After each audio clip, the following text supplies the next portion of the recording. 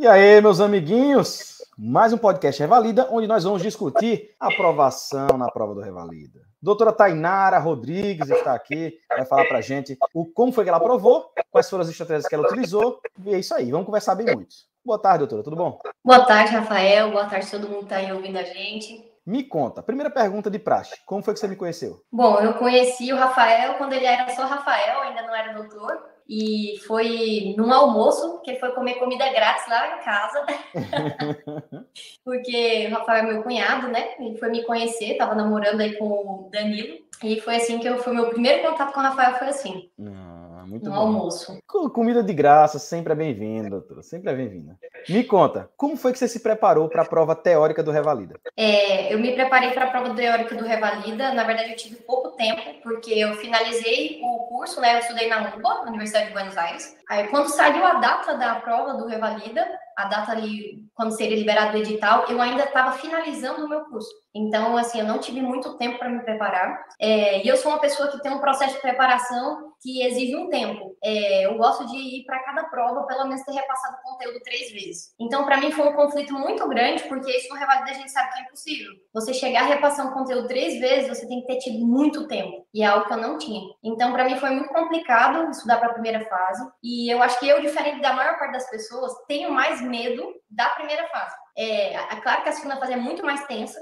mas eu tenho mais dificuldade de fazer prova múltipla escolha. Então, eu tinha muito medo da prova múltipla escolha, e ainda com pouco tempo. Então, eu comecei fazendo materiais que eu já tinha, é, que as pessoas vão é, publicando em drives e tudo isso, vídeos, e tinha muitos resumos. E eu comecei a estudar daí. E enquanto isso, o meu esposo, né, o Danilo, ele teve contato aí, conversou com você, teve acesso ao curso, e ele ficava buzinando na minha cabeça. O curso do Rafael é muito bom, e, e vai dar certo. E eu ficava, mas gente, é, para mim não funciona assim, aula curta para mim não funciona. Eu cheguei até a ver alguns, e assim, sendo bem sincera e para mim funciona a aula enorme que vai falar todos os detalhes, porque eu sou muito detalhista. Mas quando chegou a certo ponto do meu estudo, eu estudei um mês, inclusive, diferente do, diferente do meu esposo, eu estudei um mês, é, outros cursos, e ele estava estudando já seu curso, mas eu vi que não ia dar. Eu falei, não vai dar, é impossível, eu não vou chegar, eu vou chegar na prova sem ter nem finalizado o estudo. E aí foi a hora que eu falei, vou fazer só o curso do Rafael a partir de agora, é, para a prova teórica. Eu estudei o seu curso e os resumos que eu já tinha da faculdade, porque eu acho que a gente fala muito sobre a prova do Revalida e pouco sobre a gente. A gente, para preparar para uma prova, a gente tem que ter um autoconhecimento muito legal. Você tem que saber o que funciona para você e o que não funciona. Ainda mais porque a gente estuda muito em grupo quando a gente está estudando para Revalida. E se a gente for tentar encaixar o plano do outro no seu plano, muitas vezes não vai dar certo. É você tem que respeitar seu plano. E foi isso que eu fiz. Então, eu peguei seu curso eu criei resumos das aulas que você fez. Todas as aulas que você tinha, eu tenho resumo delas. Eu só assisti uma vez cada aula. Eu nunca assisti nenhuma live. É, fiz todos os simulados, que são muito bons para a prova prática. E fiz o meu próprio resumo. E do meu resumo eu consegui ler mais de três vezes. Que é a loucura que eu preciso fazer para fazer uma prova. E outra coisa é para a prova, a parte escrita, a gente reunia um grupo de estudos online e a gente chega, é, discutia cada questão. A gente pegou todas as questões do Revalida, é, questões abertas, e das provas é, mãe, irmãs, né, que é o FMT, é, residência da USP. E então a gente pegava as, provas, as questões abertas e um contava para o outro como escreveria, para ganhar mais tempo, né?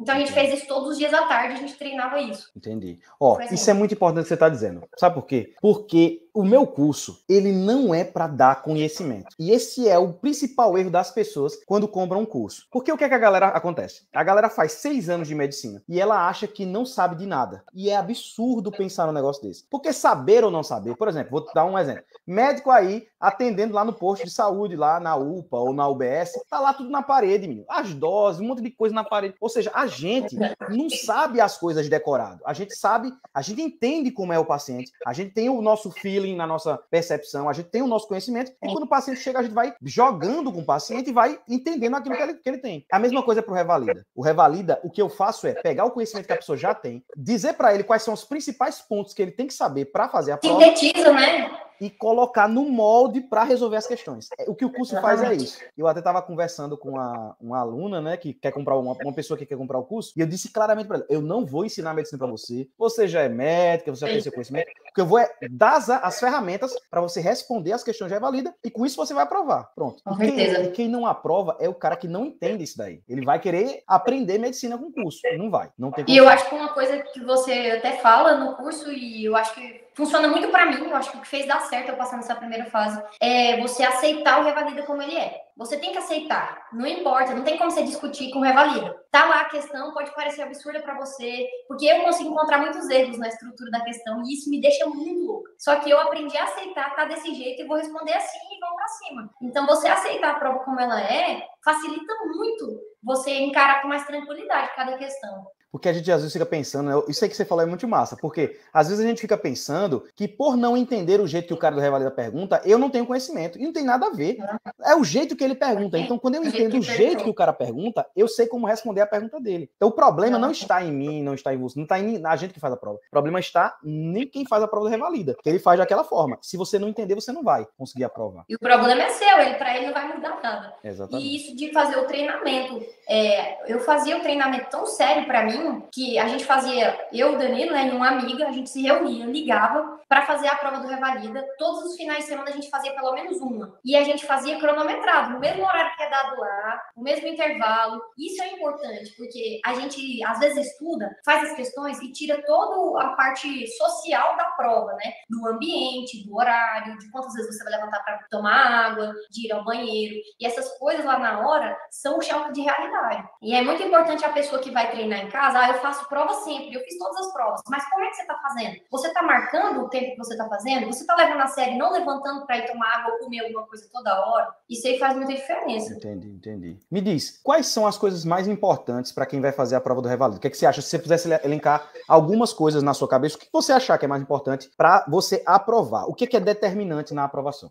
Na prova teórica, o que é determinante é buscar aulas objetivas, aulas que foquem no que o Revalida vai te perguntar. Porque não adianta a gente saber um milhão de conteúdo chegar na hora uma pergunta básica você errar. O básico, ele tem que estar, tá, é, você tem que estar tá fundamentado no básico. Você só pode sair do básico quando você já garantir que você detona no básico. Se você tiver assim, beleza, passa por um nível a mais e vai estudar coisa além, mas o básico ele tem que estar tá fundamentado. Segundo treinamento, eu acho que é muito importante, como eu estava mencionando, você tá habituado com a prova. Fazer tantas provas que você se canse delas. As provas é, múltipla escolha, eu acho que eu fiz elas mais de três vezes as do INEP, porque elas são poucas. Então a gente fez mais de três vezes do INEP, fizemos outras provas e perguntas inéditas, os simulados do seu curso são muito bons, porque a gente também vai chegar lá e repensar. E a prova múltipla escolha, ela nunca vai se repetir. Todo mundo fala, a gente escuta, ah, ela foi muito parecida e tal.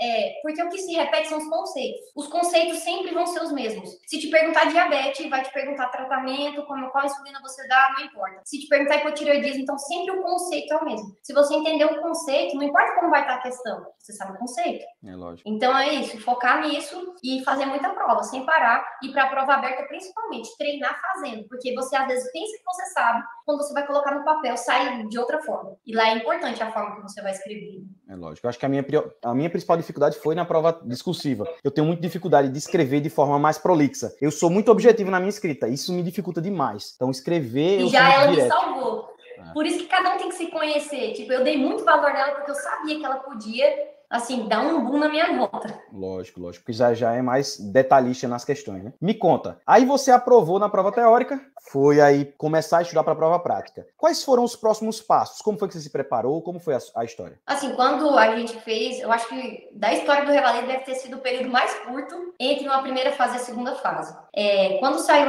é, as notícias que teriam já a segunda fase, a prova prática, eu comecei a ficar muito pilhada e falar, não, temos que começar a estudar. E meu esposo, né, que é seu irmão, já estava em outro clima. Não, não vai essa prova vai ser cancelada. E eu, gente, não dá pra gente ficar esperando. E nisso a gente tinha marcado viagem, já tinha comprado passagem. Então a gente ficou com um tempo muito curto para estudar para a prova prática. E, e a prova prática é outro universo. Quando você começa a ver como funciona a prova prática, você pensa, não vai servir para nada que eu estudei para a prova teórica. E é uma inverdade, porque como você disse, já tem anos que a gente está construindo nosso conhecimento. Tudo certo. Só basta encaixar a forma certa. E foi, foi isso que a gente demorou um tempo para entender, a forma de estudar para a prova prática. Até que a gente conheceu o seu curso para a prova prática, que você dá todo o macete lá, né, de como estudar. E isso é fundamental, porque tira a sua parte, a parte nervosa de você ter que se preparar entender uma forma lógica de estudar para a prova prática, né? O que a gente mais fez foi fazer o famoso checklist, que é o segredo real. Todo mundo escuta e fala, não é possível que é só isso, é só isso, gente. Eu estudei de verdade um mês. Não tem como eu falar que foi mais. Se eu falar que foi mais, eu abri alguma coisa aleatória, mas não foi Estudo real para prova foi um mês. É pouco tempo e deu. Deu, deu suficiente que eu não precisei nem de recurso, que eu mesmo fiquei super espantado, que eu não estava esperando. Mas foi isso, foi fazendo checklist. Eu não revi, eu revi pelo curso alguns conceitos teóricos, mas o que eu gastei tempo foi fazendo checklist. Foi montando uma própria estrutura, né, um roteiro para eu questionar o paciente. Você dá um, né, um roteiro seu na prova, é, no curso, que é muito bom. Eu peguei esse e criei o meu próprio. Porque, como eu disse, eu dou muito valor na forma que cada um estuda. Lógico. Se você faz a sua forma, é mais difícil eu tentar lembrar uma palavra que você usou do que eu lembrar a minha. Lógico, exatamente. Então, eu criei meu próprio esqueleto, né? A palavra que você usa. É, eu criei meu próprio esqueleto. Eu tenho até hoje, guardei como boa lembrança, para cada área grande da medicina, né? Cirurgia, pediatria, cada um eu fui criando para poder pontuar. Mas a base do meu estudo foi esse: refazer, fazer e refazer um milhão de vezes todas as provas que tinham do INEP. O curso prático que eu fiz com você, que foi fundamental, e fazer checklist. Eu estudei baseado nisso, nesse um mês. Agora, por que, que o nome é esqueleto? Se o cara parar para pensar, esqueleto é a, a, vamos dizer assim, a unidade básica do negócio. Depois disso tem os músculos, tem os tendões, tem a, as cartilagens, tem, tem tudo que vem por cima. Então o que você foi, o que você fez foi colocar o enxerto das coisas que faltavam, que para você faltavam. Por isso que é um esqueleto, é o, o fundamental. Isso não pode deixar de, de existir. Desistir, e aí você né? vai colocando as coisas que você acha que são importantes. Ah, o músculo é importante também, mas sem o esqueleto o músculo não vai. Então a gente vai fazendo. E aí esse nome tem tudo a ver. E, e sinceramente eu nunca nem parei para pensar nisso, mas já falaram algumas vezes, alguns alunos falaram isso, que acrescentaram algumas coisas e eu disse exatamente isso. É porque é exatamente isso. É, não, não é que não, não é para acrescentar, pelo contrário, é para colocar coisas que a pessoa acha, porque isso vai ser fundamental para a sua estratégia, né? Cada pessoa tem uma estratégia quando chega lá. Exatamente. Não é nem que seja melhor ou pior, mas é você colocar o seu lado pessoal e fazer aquilo funcionar para você, que é o mais importante, né? Me conta, para a prova prática, quais dicas você daria para uma pessoa que vai fazer a prova prática? Quais coisas são importantes na hora da prova? Eu, dicas que eu daria é isso: estudar, é, não ter medo primeiro. Não ter medo, porque a prova ela é difícil, mas ela fala muito mais sobre como você vai reagir ao nervosismo do que com seu conhecimento em si. Depois, escolher né, a estratégia que você vai usar eu acho que dá muita gente que eu conheço estudou sozinho e conseguiu, mas é muito mais difícil, essa é a realidade. Então, fazer um curso ajuda muito, e principalmente um curso, um curso prático. Eu fiz um curso em casa, online, e também fiz o curso presencial em Maceió, e muda totalmente a realidade. Porque o curso prático, as estações, você ter contato com elas, é a mesma coisa da prova. Não tem muitas diferenças. A diferença é que você vai estar mais nervoso, é claro. A diferença é que talvez você sabe que não tem outra chance, você não vai chegar lá no outro dia e poder acertar as estações, só tem aquela chance. Mas a estação foi muito fidedigna, ela é, é igual. A porta, você entrava, você saía de uma estação para outra, não dava tempo de pensar em nada. É, os atores, né, que dificultavam e outros ajudavam. Tudo foi muito verossímil. Isso é muito bom, porque chega lá na prova, te ajuda muito, vai tirando esses fatores, né, que eu falei que são mais emocionais e não do conhecimento em si. E ainda eu fui além. Eu quis fazer tão, tão perfeito, né, como se fosse a prova, que eu escolhi a roupa que eu ia usar na prova para eu fazer o curso. Eu fui com a mesma roupa, o mesmo estilo de máscara que eu ia usar, porque eu sei que eu uso óculos e embaçar a máscara, e eu fiz como eu faria lá. A leitura, tudo, levei muito a sério. E lá eu errei muita coisa, do mesmo jeito que você erra na prova. E não deixar de te desesperar para você entrar em outra estação é muito importante. Então, para mim, além de fazer o checklist em casa, casa, treinar, ter um amigo também para treinar é muito bom. Eu treinei com meu esposo, a gente fez muitas vezes a prova, fez outras provas além do INEP, ajudou muito, porque a gente sabe que tem estações que são inéditas no INEP, alguma enfermidade que não foi cobrada, e às vezes você viu em outro checklist, ajuda muito. E manter aquele esqueleto, não sair daquilo, não viajar, porque aí você perguntou sobre a realidade lá na hora da prova. A minha realidade foi muito triste a princípio. O Rafael estava comigo lá, ele sabe, eu saí do primeiro dia muito desesperada. Eu sou um pouco desesperada, porque eu não sei errar. Na verdade é, eu tenho muita dificuldade de aceitar meus erros. Então, assim, eu fiquei presa nas coisas que eu errei. Eu ficava, gente do céu, que vergonha. A pessoa vai assistir esse vídeo e vai falar, essa menina é médica, num detalhe tão besta. Olha, a estação que eu tinha mais vergonha, que era de é, hipotireoidismo, né? Tinha uma. Eu falei uma, um medicamento completamente errado lá na hora, porque eu já tinha feito todo o carro. E eu fiquei com mais vergonha da minha prova inteira por causa dessa estação, sendo que foi uma estação que eu pontuei muito bem. Então, assim, não tem nada a ver a ilusão que você cria com a realidade do que é. E foi, e, e foi, isso foi no primeiro dia. E no primeiro dia, eu deixei a prova me levar. E esse foi o meu maior erro. A prova me dominou do início ao fim no primeiro dia. Então, eu saí de lá derrotada. Eu respondi tudo certo, tanto é que eu fui bem, mas eu não saí bem. Isso também é importante. Quando eu fui pro segundo dia, eu até cheguei a comentar com o Rafael e também com o meu esposo, que não importa, mesmo que eu não passasse, eu queria sair de lá bem, sair fazendo o que eu fui para fazer. Então, a pessoa não pode esquecer. A gente sabe que ali não é atuar como médico, mas quando você sentar naquela cadeira, você tem que sentir que você é o médico. Que naquela sala todo mundo está esperando você atuar como médico. Então, sim, sente, senta lá e sinta o médico que você é e vai para fazer o que você tem que fazer. Se você fizer isso e estudando o esqueleto, não tem como dar erro, porque você se desespera e começa a se perder porque não está acreditando em você. Tem que acreditar. E essa foi a grande virada que eu tive do primeiro para o segundo dia, porque no segundo dia eu joguei tudo para cima. Eu falei, agora ou vai ou vai.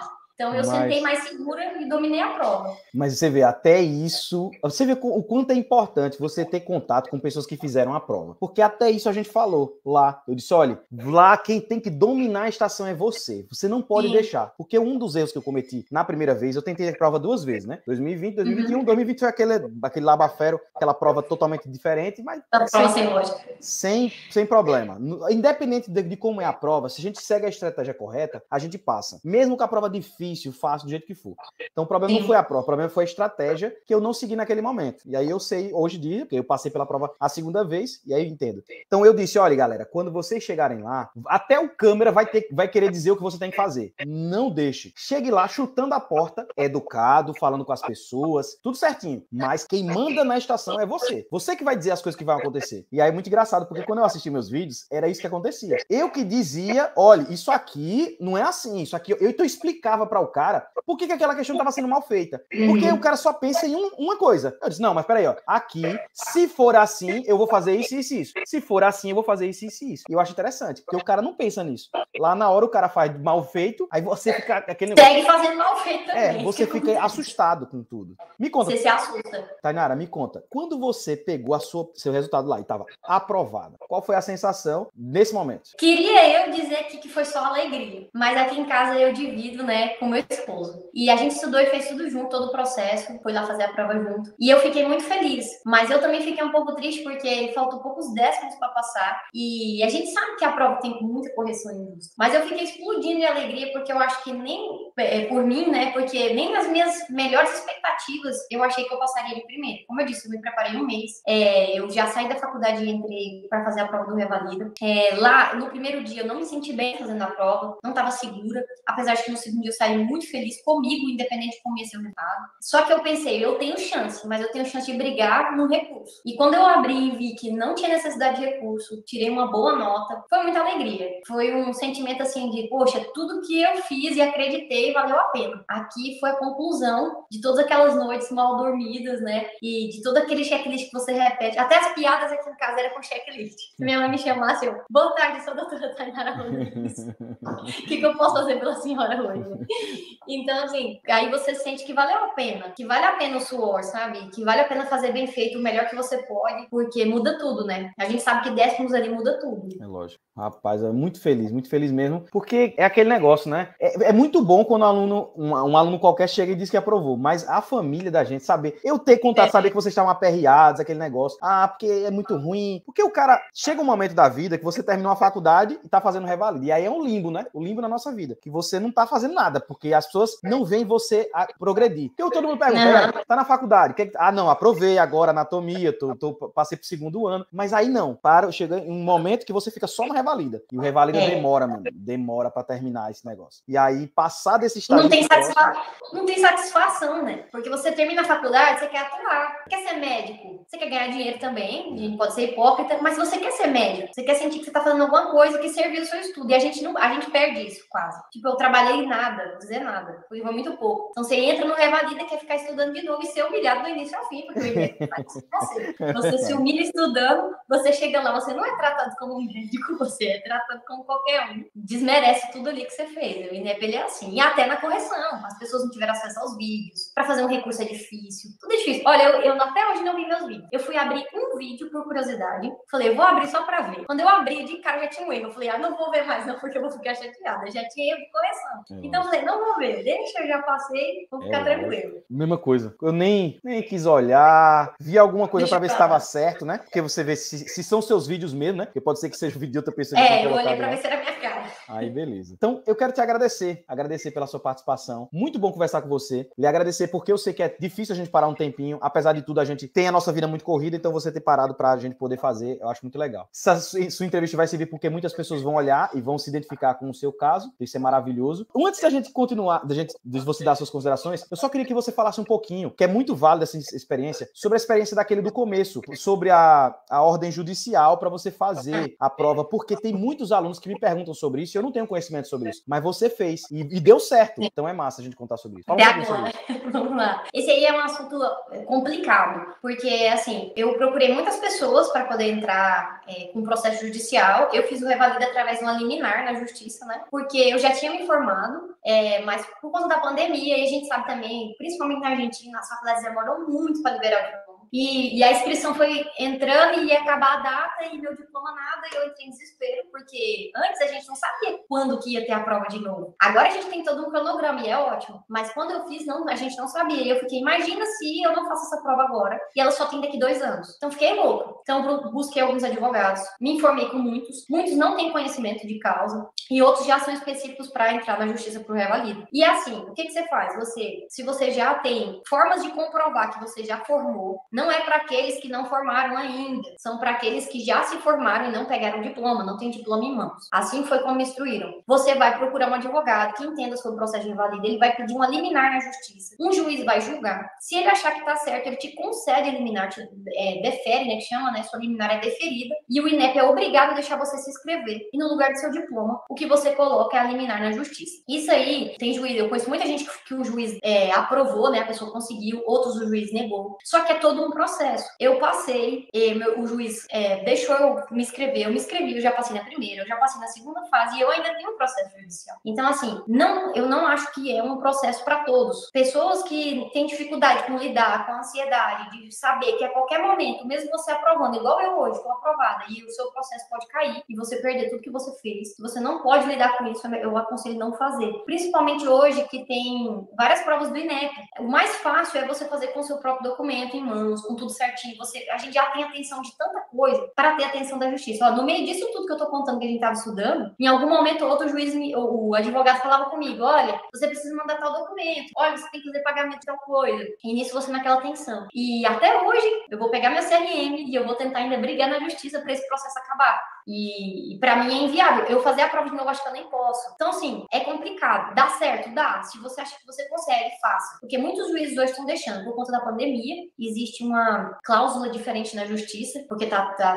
num, numa crise diferente a saúde, né? Antigamente realmente era muito difícil. Hoje já é mais fácil e é possível sim fazer. Alguns juízes aceitam, outros não. Vai muito do pensamento pessoal do juiz, porque fica muito a cargo dele, se ele acha que é justo ou não. É, mas é isso. Mesmo com o diploma lá. E eu conheço amigos que tinham diploma mão e não tinham apostilamento diário, tiveram que fazer o mesmo processo. Então, às vezes, vale a pena tentar. Entendi, entendi. Para você, meu amiguinho, que quer colocar também, porque tem gente que fala muito comigo, né? Muito, manda muita pergunta e é aproveitar já que você passou por essa, é, essa experiência para falar. Não, do mais é isso, da pessoa é, se conhecer de novo, saber se para ela vale a pena. E buscar um bom advogado, gente, isso é fundamental. Temos que passar tanta raiva na gente. Que a pessoa, para ele, é só mais um caso, mas pra gente é a vida da gente, que determina se você vai estar aqui no Brasil, se você não vai estar. Lógico, verdade. Então, buscar alguém mais humanizado. Doutora Tainara, queria lhe parabenizar pessoalmente aqui, né? É, online, para todo mundo, mais uma vez, porque eu sei o quanto é difícil aprovar no Revalida, eu sei que é um processo penoso e que ele, como você mesmo falou, você mesmo falou, humilha você do começo até o final.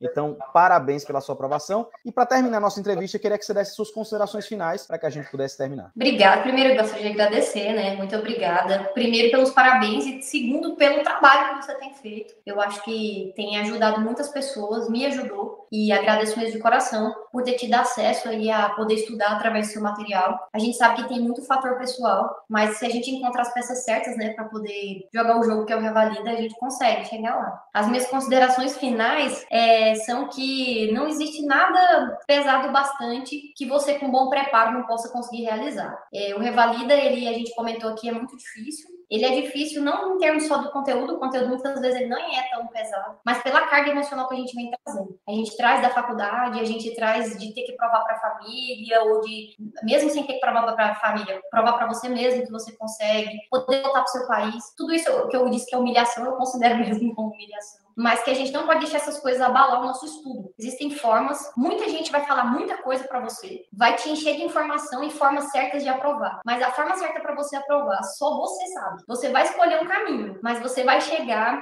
em um ponto do seu estudo que você mesmo vai saber o que é melhor para você. E respeite isso, respeite até o fim que dá certo. Escolhe um curso bom, alguém que vai te apoiar, é, principalmente para prática, cursos que sejam práticos mesmo, que você faça as estações. Isso é fundamental, fazer as estações, porque lá é um choque muito grande. Então você precisa ter feito, não adianta, não adianta só assistir, fazer é muito diferente e não deixar de acreditar em nenhum momento. Não existe tempo limite. Eu consegui estudar em um mês para a segunda fase, então dá para fazer. Dá para fazer, não tem tempo. E quem tem muito tempo dá para ir tranquilo, dá para ir seguro do que vai fazer. E é isso. Muito bem, doutora. Então, você, meu amiguinho que assistiu esse podcast, eu espero que você tenha se identificado com a história de alguma forma, que você aí ah, trago vários casos de pessoas diferentes para que você se identifique. Alguém vai ser igual a você ou parecido com a sua história e você vai se identificar. Por isso, tantas pessoas diferentes. Papai do céu abençoe todos vocês. Não se esqueça de curtir, compartilhar, se inscrever no canal, deixar o seu comentário e nos vemos no próximo podcast Evalide. Tchauzinho para vocês.